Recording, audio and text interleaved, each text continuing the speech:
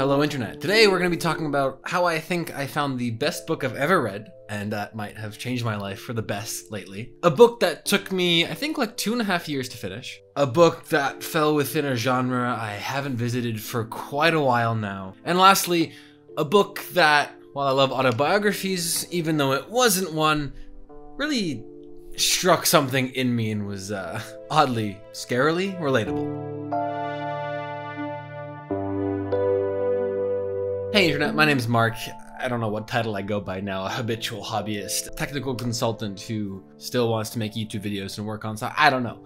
But welcome to the channel. At the end of every month, I'm doing a reading ramble where even if I don't read anything, I just tell you my thoughts, reflections. We have a lot of those today. Now it's funny because February is the shortest month of the year, and yet it's the first month in which I've finished my goal of reading four books. So let's talk about those. On a quick note, I've kind of restored my habits, sort of. Now I'm going to talk about Hello Habits extensively. Uh, I'll save that one for the end, but that is something that has changed my life, arguably will leave an impact for a very long time. I started reading every single day these last two weeks. The thing I mentioned in the past about reading on the subway, I've done that more. Still not every time, but more, and that's been super helpful. I kind of have to view it as I need to make sure I use this time wisely. And also, I would consider my only vice arguably to be caffeine. And so I have to be reading if I want to be drinking caffeine, whether that be the powder stuff I have or a can that I get when I'm at the deli. And that has worked unsurprisingly very well. Only one of these four books, if you've been following, are one of the books I set out to read, ironically. And that is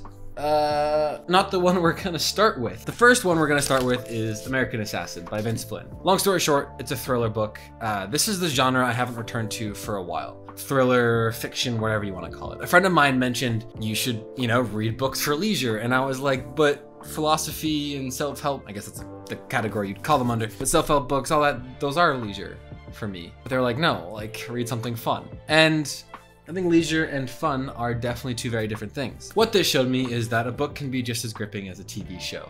I watched the movie American Assassin probably a year and a half ago, I'd say, uh, and I recently rewatched it after I finished the book. The book was better, even though I saw the movie first. But the, I really liked the movie specifically for the first 20 minutes of it. Not gonna go into that. The, the material that you read, making sure it's engaging, is very important. Um, if you're a thriller, I guess I'd recommend it. It was just a good read. I enjoyed it. Um, I like thrillers, I guess, apparently.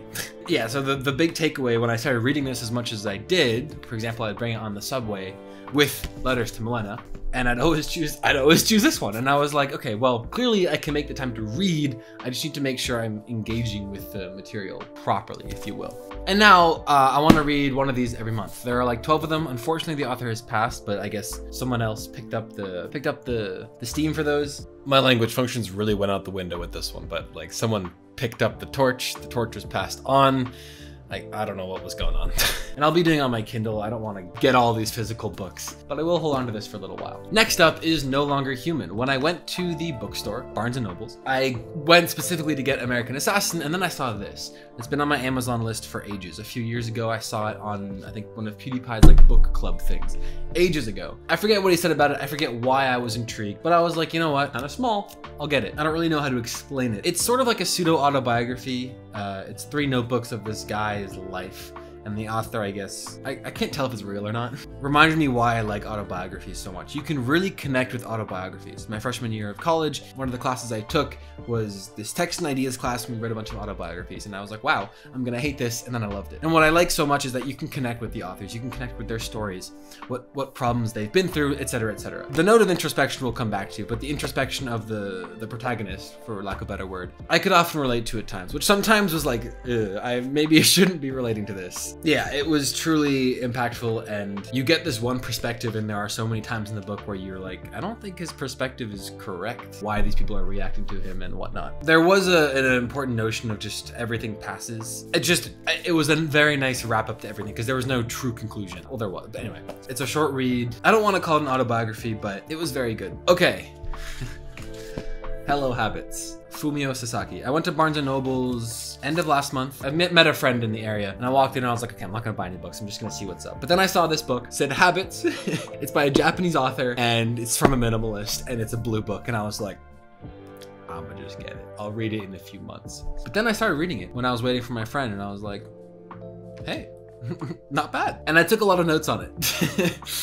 This book, whew, remarkably candid. One of the things I love so much about this book is A, how much I connect to it. This author will say things and I'm just thinking that that's what I think. That's the same thought process I have. It comes down to small things like when I travel, I would bring five books with me so I didn't run out, and then I end up not reading one. But also, more importantly, and especially the last chapter, chapter four, he just talks about talent and all of these ideas that I have had, both the ones I've been able to articulate and the ones I haven't been able to articulate. He just ah, he ties the bow so nicely about how talents don't really exist. Talent is something you build. Because of this book, I've gone out every single morning, except for Sundays, those are my rest days, and done something in a nearby playground. The other day, I did a wall spin on a tree. I posted on Instagram. Follow me if you want.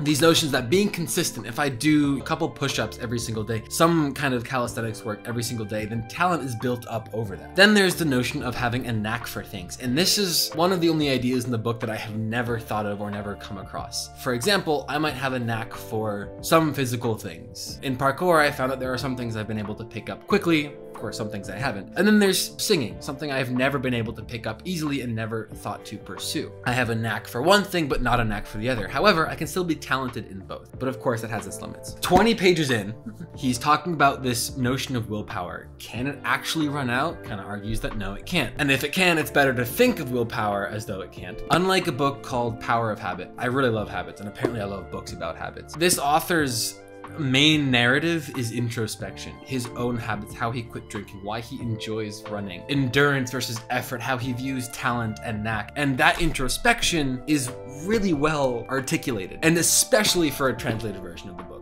So huge props to the translator. It's almost scary how in parallel my habits and thought processes are with the authors. The notion how he thinks, I'm a night person but became a morning person. That's what I'm realizing too. You know, I can still become a morning person simply because I really, really want to. Structure of the book, by the way, the first two chapters, the first one's about willpower, the second one is about like what habits are. And then chapter three is 50 steps for acquiring new habits, which is the longest chapter. It's like two thirds of the book. They're very well structured, by the way, these tips. They each build off of each other. He references earlier tips in later tips. That must have been a pain to organize. But one of the things that's really helped me with this waking up, for example, is, okay, two of the things. A, reminder of what Duhigg talks about in Power of Habit, from keystone habits to linking habits, uh, etc., etc. All the reminders in this book plus the introspection are kind of like, okay, right, this is this is why I'm doing these things. And secondly, there's this notion of awareness. I've always thought, okay, don't think about it. Just go for a run, right? Wake up, don't think about it, don't snooze, just get up and get your clothes on and get outside. But the author talks about it as don't bring awareness into the equation. Don't let yourself question anything. Don't let yourself debate. I can't do justice to the ideas and how well they're articulated here. If you're into habits, highly recommend. There's also this idea I've always had of time travel, where you, and this is something that really helped me lose weight. I pictured this event in the future, and I thought, okay, in that moment, I'm gonna wish so badly I could just lose weight.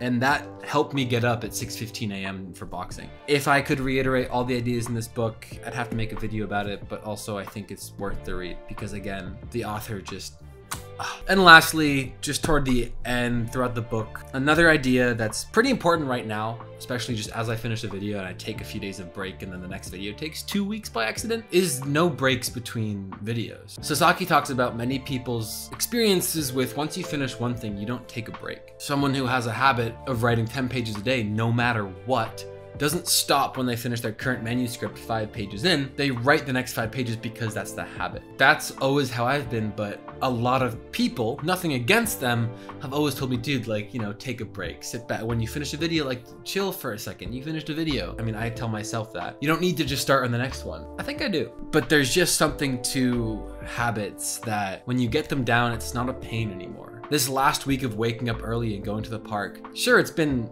a little painful, but it's really been enjoyable because I get back and I can enjoy the rest of my day. Get those three hours in the morning back, so to speak. There will come a morning where I do not want to get up, but I'm gonna have to do it anyway. And I really hope that I can at that moment. I'm gonna unironically miss reading this book, and this is something I'm gonna keep with me at all times. Like, this will live on my desk now. It just, it was super impactful for me. One of, if not the best habit, self help, psychology books I've read as of late. Okay, so now that uh, half the video was about one book, let's spend three minutes on this one. Finishing this book was an accomplishment simply because I've been reading it for so goddamn long. Something I just realized like a month ago was it's literally a compilation of letters. It's not a book, it's just a compilation of letters. It occurred to me that maybe I should go through reading it and pick and choose what parts I want to read. I told myself, okay, why am I reading this? Well, I want to hear how Kafka talks about his thoughts. I want to hear how Kafka articulates himself. And so whenever anything comes up about, Oh,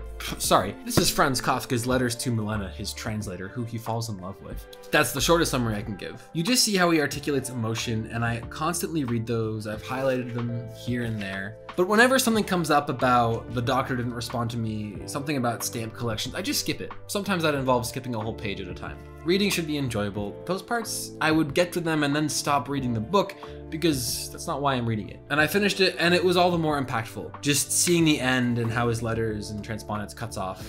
Like it's the whole 99% of the book is within four months. And then there's like four more letters that are over like three years. It's it's jarring in a way.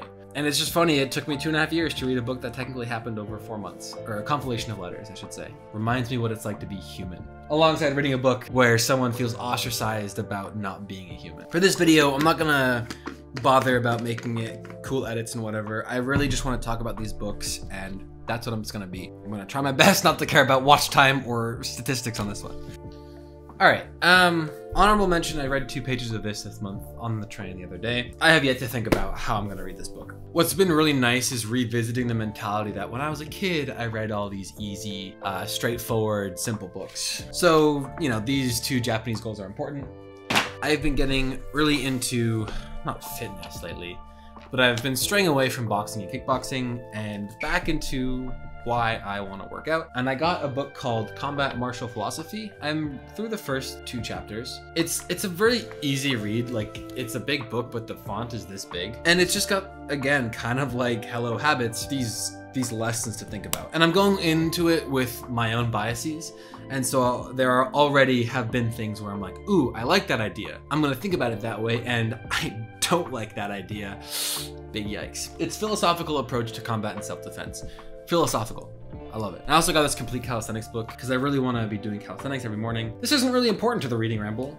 It's just a book. I'm not going to read it front to cover. Sorry, front to back, cover to cover. Yeah, I, I, prefer things in book form rather than looking up videos. Reading goals from March. I really haven't thought about this. I think I'm going to go with One American Assassin. And I'll get that on my Kindle so that I can like always have that with me. Now that I have confidence with my reading habit, I probably shouldn't try and tackle both Letters from a Stoic and Nerds Per Minute, because Nerds Per Minute is now a book that I'm choosing to prioritize to read, not being unable to read Letters from a Stoic. We'll put this one off for now. I think one hefty book for a month is good. I shouldn't focus on quantity, you know, four books a month. I should be focusing on quality of books. So I'll put Stoic aside. Just making that conscious decision now. And now that I have a habit I can trust, soon. It'll be part of the habit I can trust. Well, this is a really weird feeling. I was reading so many books at the same time and I finished them and now I don't. I don't have them. I don't have letters to Milena to say I can finish again. Very strange. I'm gonna, you know what, I'm gonna throw My Hero Academia manga on here and have a wild card. So my goal with this will just be to, you know, sit down and read it. Not study it, just read it. Even if that's just flipping through the pictures and I finish it in a day, that'll be good enough for me. I'm caught up on my reading goal on Goodreads. Love that. I have books on my shelf. Love that too. I'll put the names of the books in the description, not links, because purchase them from wherever you want to purchase them. Support local bookstores if you can. I'm a big proponent of that. I don't really have a local one really nearby except for Barnes & Nobles. Let me know what you're reading or what habits you've been working on, what habits you've gotten back. So yeah, that's it. Thanks for watching. I hope to see you in those upcoming videos. Without further ado, have a good one. And as always, don't forget to stay awesome. See you in a month, if not sooner.